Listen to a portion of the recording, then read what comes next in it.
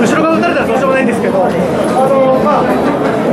角を曲がったらおかしな人がいるとか、よくありますよね、あの電車で叫んでる人がいたりとか、あのまあ、コロナになってからいろいろとあるので、そういう時に、じゃあ皆さん、どうやって自分の身を守るか、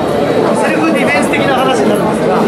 まあ、私、セルフディフェンスフォースの人なので、この話をメインでさせていただきますが、ありがとうございます。ありがとうございます。ありがとうございます。いやいや話進まない。はい。ということで、えっと、一番大事なのは、危ないものだったら逃げてください。簡単ですよね。で、えっと、何かこういうものを持ってきた人がいても、大体、合計上8メートル以上追っかけてくると、次の目標に行くらしいです。他に周りに目標がいた場合です。だから8メートル全力疾走で逃げる。これ大事です。で、あとですね、たまに、あの、催涙スプレーとか持ってて、そういうので対応したらいいんじゃないかっていう人もいるんですけど、あれも一長一短で、催涙スプレーかけられたことある人いますか？あれってか、かけられていいですあの。なぜかけられたか聞きませんあの最初にかけられても、いきなり無力化されないですよね。動けますよね。ちょっとかかります。はい。あれ、止まるまでに時間かかるんですよ、ある程度。その間にこの距離で催涙スプレーかけられると、ガシガシってやられたら終わっちゃうじゃないですか。だから、相手のマイルを取る。で、あの、相手の道具ですね。ナイフだったら、ナイフでやれる距離がありますよね、この距離。これより逃げてしまえばいけないんで、だったら次の人に行こうかってなりますよ。っていうところを考えてます。で、でもどうしても角を曲がったらおかしなやつがいて、あの、逃げたら、持ってきて、もう袋小路だった。そしたらもうどうにかするしかないですよね。じゃあその場合の対処法です。いいですかで、何でも言いますけれども、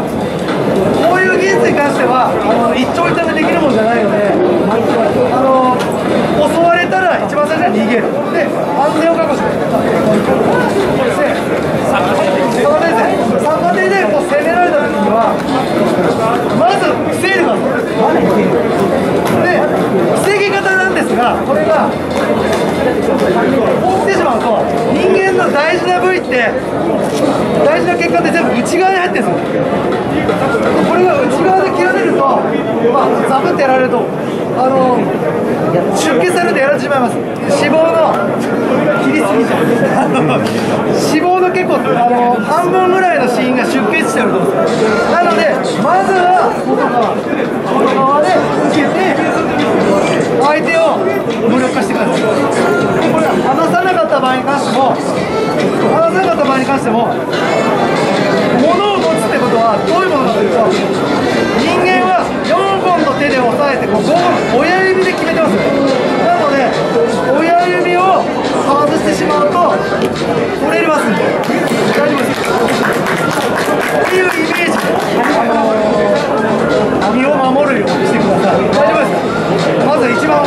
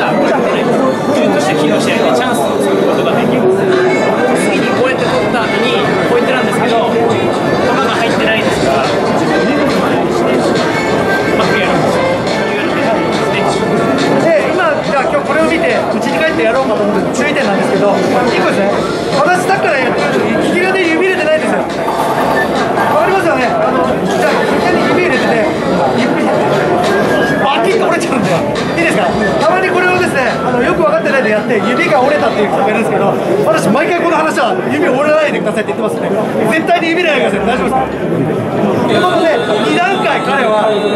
指を折るまでやってるんですよ。なので私が銃が取れなかったとしてもこう無理やりに負けてやったとしてもこの引き金で指引けないんでこっちで見になるんですでこの間に別の行動を彼がすることができるんで命をあの流れさせることができる。じ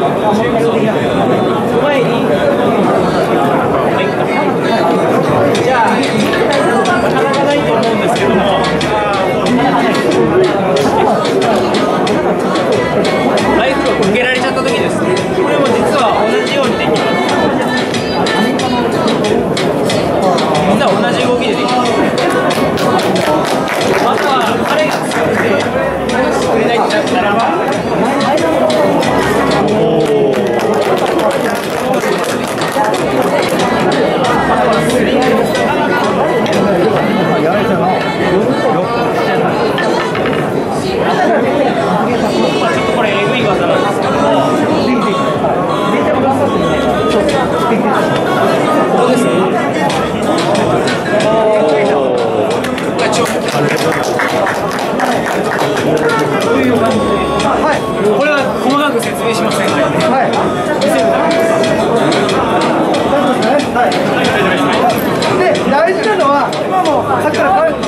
言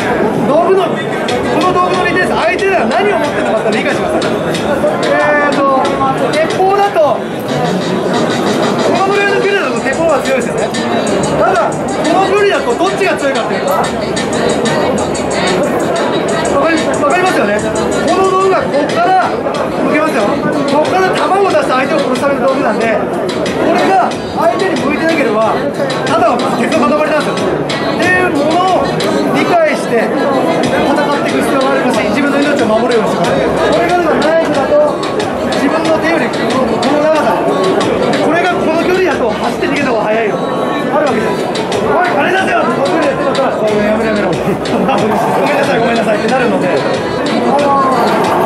にその何かあっても慌てないように自分の中でいろいろ考えながらこうなったらどうしようかなっていうあのイメトレをするのも大事ですし体を動かすためにもあの何かあった時に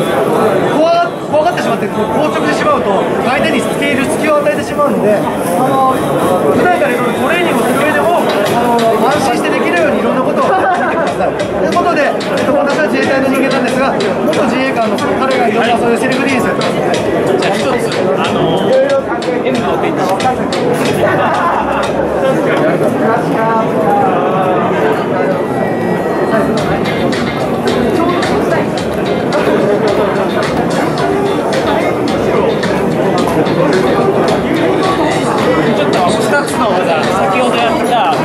デザートと、さらに拳銃のデザートを組み合わせたものをちょっとやってみせたいと思います。